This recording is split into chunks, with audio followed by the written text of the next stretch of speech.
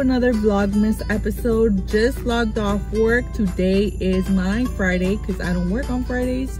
And we're heading to my storage unit. I made some sales and I have to pull them from my storage unit. So I'm going to give you a tour of my storage unit and I think go over why I don't recommend storage units for your reselling business, especially if you're part-time it's a lot of money. So i'm waiting for starbucks. I'm just in the drive-through so um but yeah my company sent out a starbucks card for lunch but i didn't want to go out for lunch so i'm going to see if there's still funds on the card so i can get my free coffee from work. So yeah let's head over to my storage unit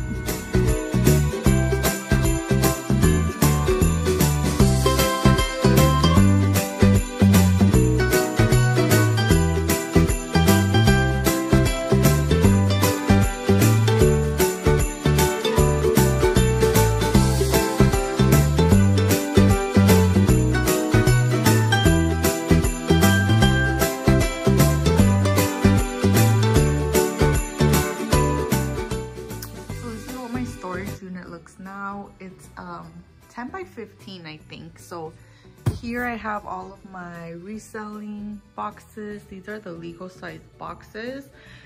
And some of this is also my personal stuff. I have some mannequins here and i just have a bunch of inventory. Some of this is my boyfriend's stuff. He has some like storage in here as well some of my hard goods. I still have hard goods left over from my antique booths somewhere here at the bottom. And then I, the thing with me is that i also have my inventory from my vintage vending.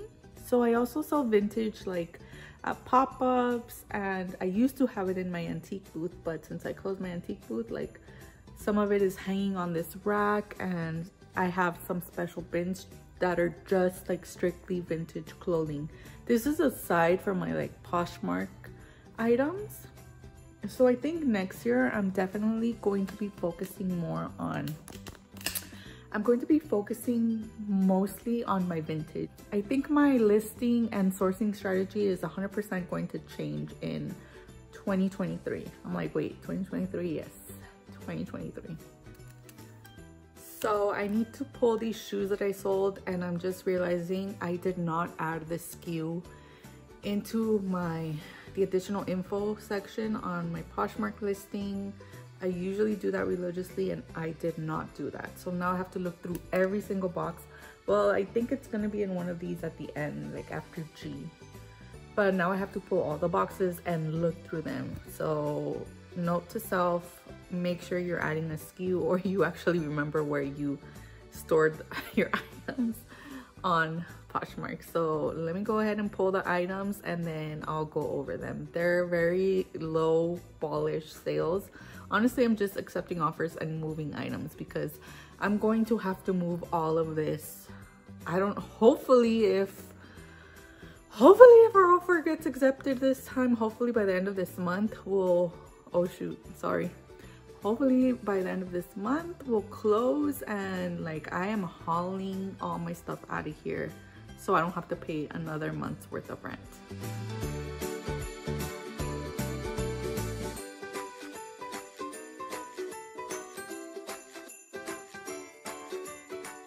Okay luckily that didn't take long. I found them pretty fast. I knew they were to be in one of these last boxes. So first off are these Jimmy Choos.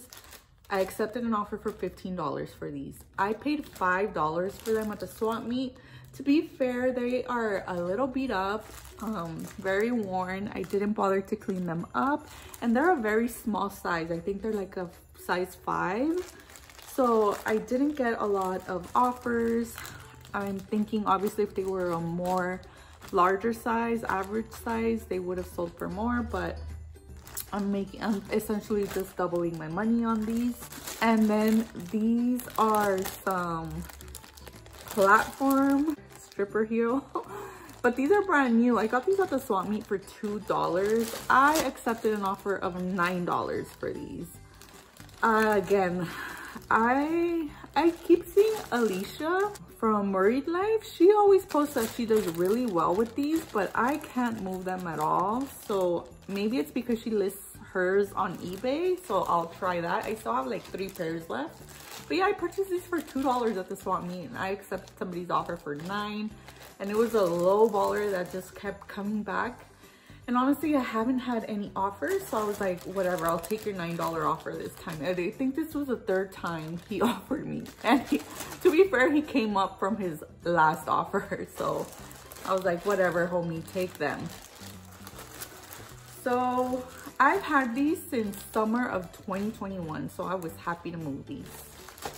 Okay, so I think I'm just gonna head out because I actually have to go to the post office to pick up uh, one of my swap boxes and then I'll finish this video and go over why I don't recommend having a storage unit back at home.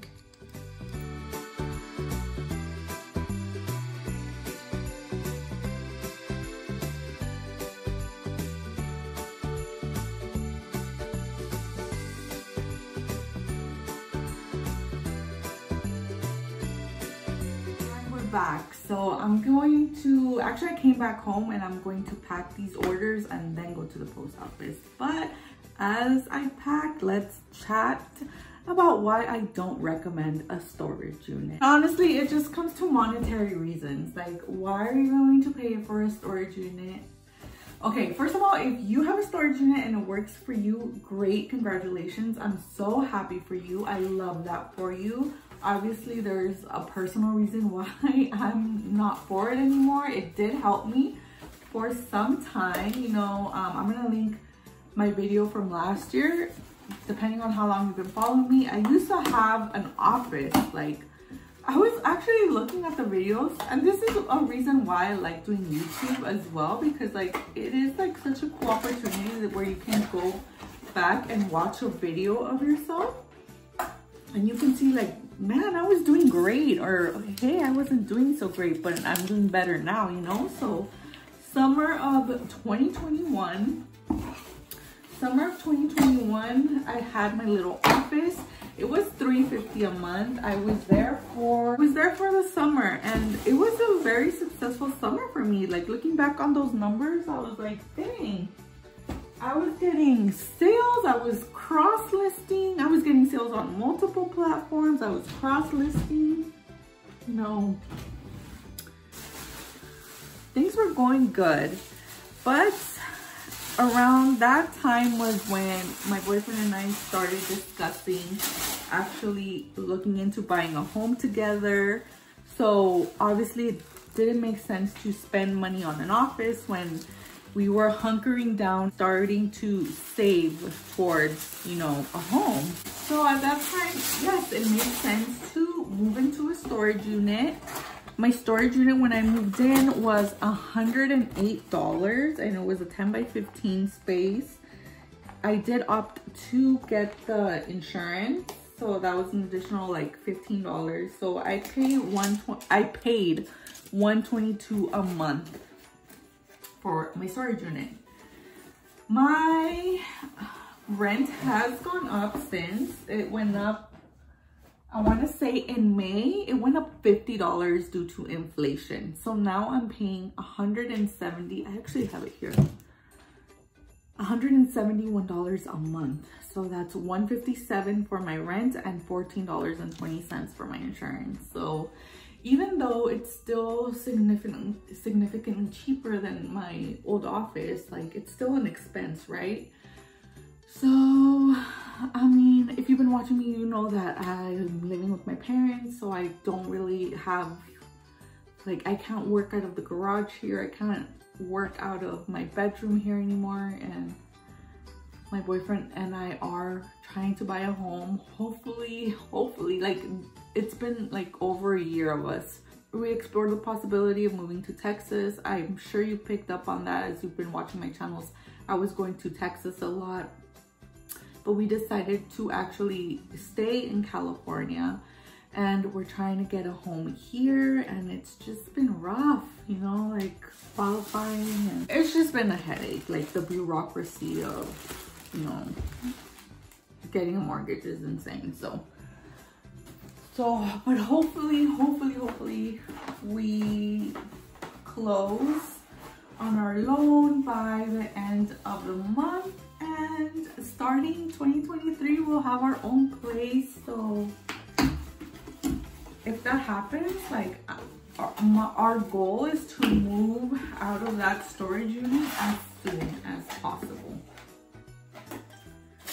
But obviously besides the monetary reasons I actually love my facility like it's so clean but I mean, the only downside is like, as you saw, it gets really dark in there. There is no source of electricity. Most storage units, at least here in California, they don't allow for electricity or any sort of power outlet, even battery operated. And the managers are constantly walking around to